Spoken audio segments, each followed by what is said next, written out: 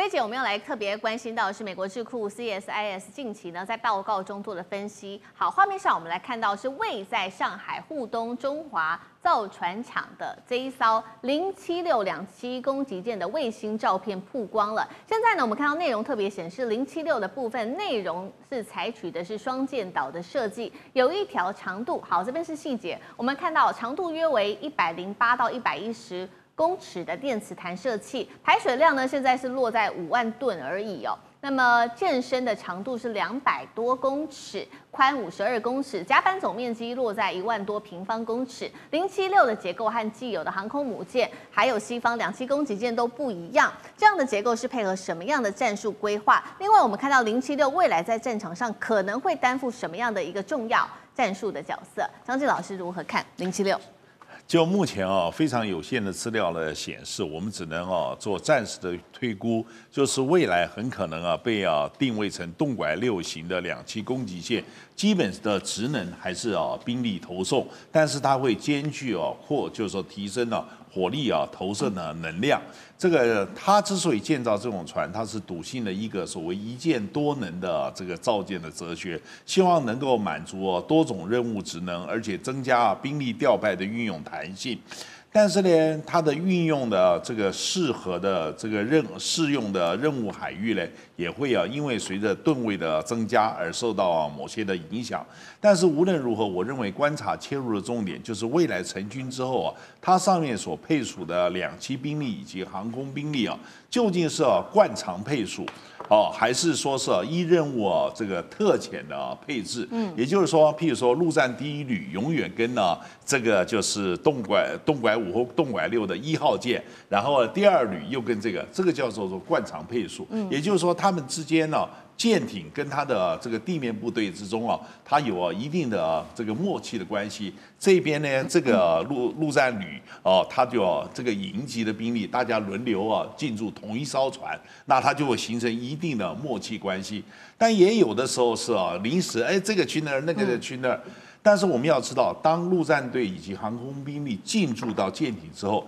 它有很多平常的，就是驻地训练都会受到影响，所以啊，驻久了，它的战力啊常数是往下降，然后你又要派新的兵力来做。我觉得真正呢它这些的安排，才是我们未来啊。观察它啊，这个如何这个就是服勤啊，以及印钱的重要的关键所在。嗯，好，除了刚刚老师特别提到几个重重要的项目之外，我们也来关心的是上面，我们今天要来关心的是电磁弹射器。刚刚说零七六不是配备了一百零八到一百一十公尺的电磁弹射器吗？其实跟福建舰的航母所配备的一百一十公尺的电磁弹射器是一样的。那重点来了，零七六刚刚说了，其实并它的吨位并不大，五万吨左右而已。却有设计可以装载两栖登陆部队的一个空间，所以说我们可以想象，这个载运的舰载机数量不可能可以超过共军已有的三个航母，所以现在就在想说，哎，零七六上面放的舰载机，第一个它可能是无人机航母起降攻击一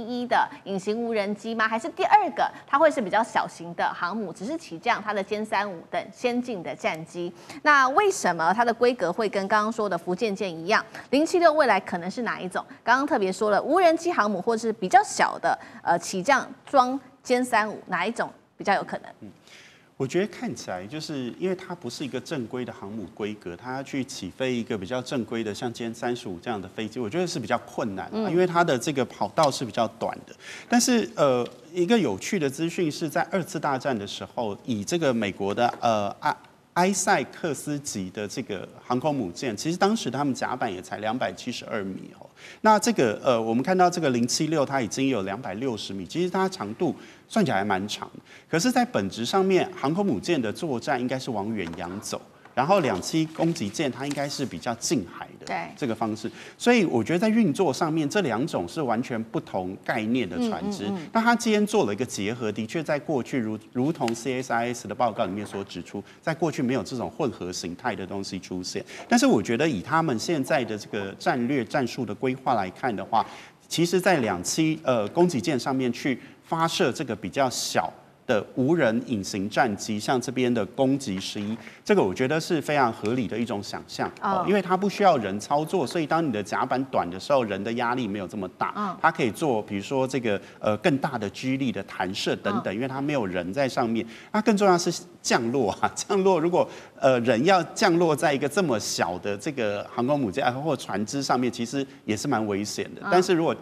透过电脑操控，我觉得这一切是可以克服。那他在这过程里面，等于是扮演一种支援的角色，就是有空中支援，有海上支援，然后变成一个立体的作战的一种两栖攻击型舰。那我觉得这个应该是一个比较可能发展，而不不能把它看待是一种比较小的航空母舰。它比这个福建号小了百分之三十，大概它大概体积是百分之六十八而已。吼，那很多除了排呃这个总排水量差更多，福建号是八万吨啊。然后这个呃，这个洞七六大概才五万吨，那天差地别，就是它看起来像是一个漂浮的载台，像是这样子的东西，所以我比较没有把它倾向看成是一个小型的航母，但是它会具有一些。空中的投射能力，这个可能是可以预估。还有电磁弹射器的部分。对，电磁弹射器，因为电磁弹射器就牵涉到它除，它就是要有飞机的起降才需要有这个东西。那它把标准规格福建号上面的移过来，这个长度是一样的，那表示它其实可以做飞机的起降。OK。所以这个大概是我们可以推测，就是说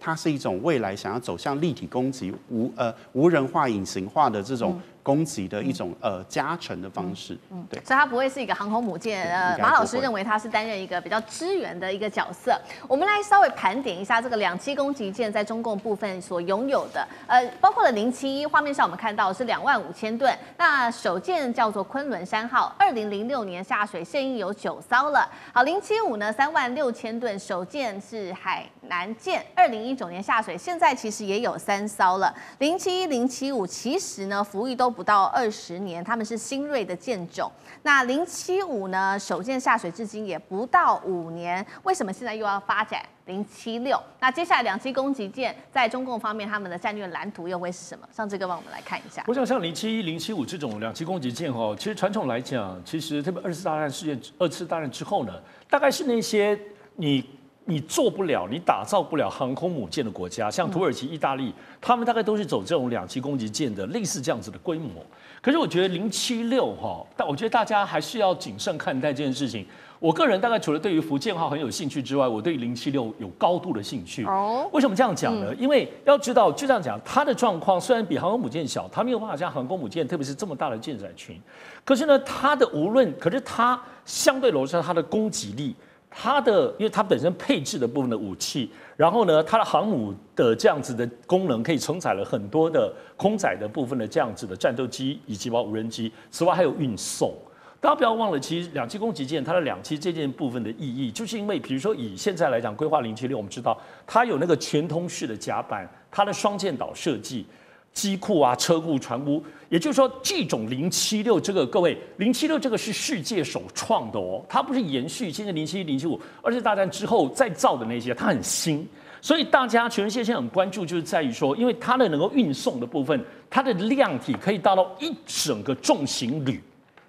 一整个重旅，再加上两万一千多名士兵的装备，这是送得了的。也就是说，他现在如果要真正的两栖攻击的时候，他作为一个就像这个小海岛一样运送。虽然我们知道，所以这对我们两岸的战争，特别是在打台湾这件事情来讲，我认为像零七六这样子，可能是一个很重要的战术考虑。为什么战略考虑？因为他在这个过程里头，虽然没有错，如果你最后真的要打台湾，你不见得都放在这个零七六上面，你会有很多。这种民间的渔，就是中国大陆的民间渔船啊，你就是千帆万船战术，你还是可以运送很多的人。但是你不得不说，现在有一个很重要的东西是，什么？我个人认为是无人机哈。所以，因为现在无人机的这个战术，我们知道无人机的攻击在乌克兰战争，无人机现在也包括在整个空军的这个群役的服役上当中，侦察、攻击各方面都担任很重要的角色。但是，但是我们到目前为止都还没有看到无人机跟两栖作战怎么做。对。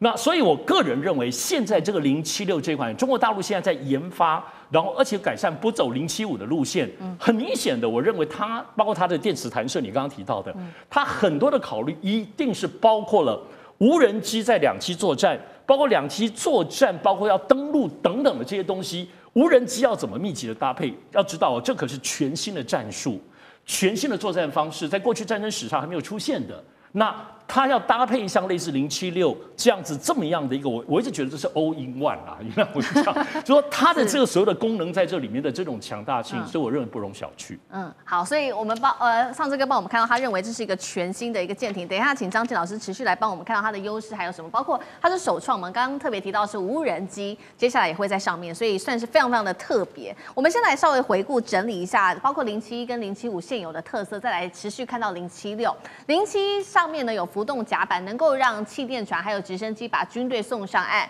然后呢距离海岸更远的地方就能够来准备登陆了。零七五的话有甲板起降直二零，同时它也有浮动甲板，也可以搭配气垫船，所以呢它可以载运两栖突击旅建立滩头堡之后，让其他的船跟着靠岸卸下军队和战车。刚刚谈到的零七六的部分，空中战力之外还有哪一些亮点？我们看到它的吨位持续的在上升，从一开始零七一两万五千吨，到现在零七六已经到五万吨了。吨位来说越高，能呃有什么样的重要性？为什么需要这么大的吨位？张静老师你，可以把吨位想成啊，就是我们今天在一个赌博之中的筹码。你这个吨位的增加，这个船的规模变大的话，你的整个耐风性、那个续航力、作战的持久性、作战的半径啊，都会要随着它扩张。